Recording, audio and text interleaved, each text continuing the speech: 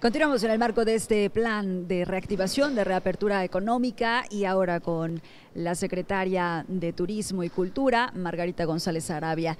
Secretaria, pues hemos escuchado parte de lo que representará esta nueva normalidad y hay un incentivo muy importante que ustedes están ya empleando para todo este sector. ¿Qué nos puede decir este, ese, este distintivo? Sí, pues muchísimas gracias al Instituto por la entrevista y comentarles que una parte importante es que eh, de esta reunión me parece que fue que estuvieran todos los municipios del estado reunidos porque con ellos estamos trabajando de la mano para la reapertura económica y turística del estado. En este sentido, eh, uno de los aspectos que la Secretaría ha venido trabajando de manera coordinada con salud, tenemos que este distintivo está totalmente avalado por la COPRISEM y son todos los protocolos que se tienen que seguir a nivel de hotelería, restaurantes, balnearios, eh, jardines de eventos, etcétera, para que la gente sepa que puede eh, seguir estos protocolos, obtener el distintivo y en ese sentido poder tener para sus clientes una seguridad de que en ese lugar se están siguiendo los protocolos adecuados. Es decir, es, también tiene de alguna manera, y aparte de la salud, pues es un mensaje eh, para todos los eh, visitantes, para todos los turistas que están llegando a un estado que guarda las normas de seguridad. Y es que precisamente el sector eh, turístico en todo el país, prestado de servicios, qué decir del mundo, ¿no? Pero que en el estado de Morelos es una vocación, es uno de los motores del desarrollo finalmente de la entidad. Y será complicado el revertir los daños, ya están hechos, pero hay además del ánimo, el entusiasmo y yo creo que el compromiso de ellos me refiero a los propietarios de negocios, a los mismos trabajadores, adecuarse a algo que finalmente llegó para quedarse, Margarita. Sí, además ha sido una época muy difícil para todo el sector Que de por sí se venía rezando, ¿no? Algo Aquí, nacional, internacionalmente, ¿no? Pues eh, como sabemos, eh, líneas aéreas se la han visto muy complicada, los hoteles en todos lados, etcétera, y también un reconocimiento a todo el sector que aguantó eh, estos tres meses sin abrir. Eh, sé que pues les ha costado mucho, esperamos que todos salgan adelante y además pues que cuenta con el gobierno del estado en lo que se pueda para tratar de apoyar que ninguno se quede rezagado, ¿no? Sí. Y eh, este distintivo de anfitrión responsable va a estar eh, eh, gratuitamente para todos, lo ofertamos para que se sumen a esta gran red de, trabajo que estamos realizando. en cuanto a lo que tienen que cumplir, es algo que ellos de, manera habitual lo tienen que llevar a la práctica, a final de cuentas, ¿no?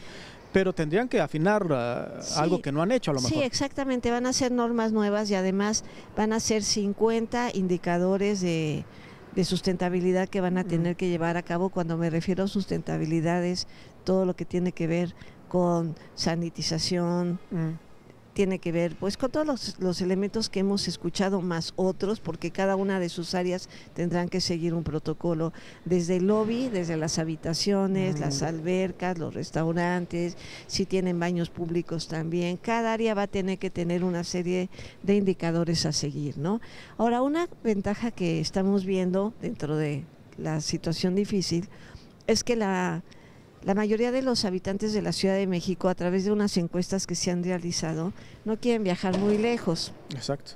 No quieren tomar aviones y quieren viajar en carro. Y aquí la gran ventaja que tiene Morelos con respecto a los estados cercanos a la Ciudad de México es que nuestra oferta turística es mucho mayor. O sea, aquí van a encontrar una gran cantidad de hoteles, de restaurantes, de balnearios, etcétera, a dos horas hora y media de desplazamiento, ¿no? Entonces, en ese sentido, estamos viendo la ventaja que eh, a partir de hoy se abre, sin embargo, ya desde que se anunció que era eh, semáforo naranja, ya están teniendo reservaciones bastantes de los hoteles, ¿no?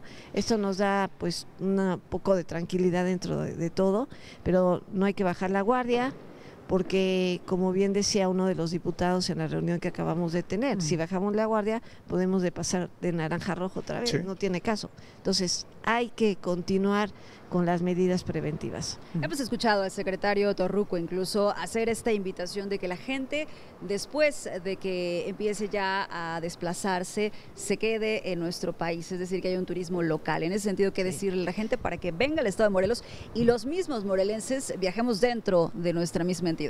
Así es. Eh, decirle a la gente que aquí en Morelos pues va a encontrar todas las facilidades para que se sientan a gusto, se sientan seguros. Tenemos cualquier cuestión de emergencia en un momento dado, pero sobre todo lo que lo que dicen viajemos todos por México, que va a ser el programa que va a continuar.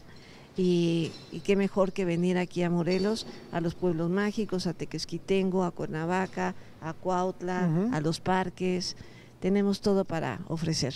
Vendrá una campaña seguramente para potencializar todo eso, ¿no? El Fideicomiso de Promoción Turística va, se va a desarrollar la campaña de promoción eh, ya de inmediato, aparte ya del día de hoy, eh, para, para que la gente nos venga a ver.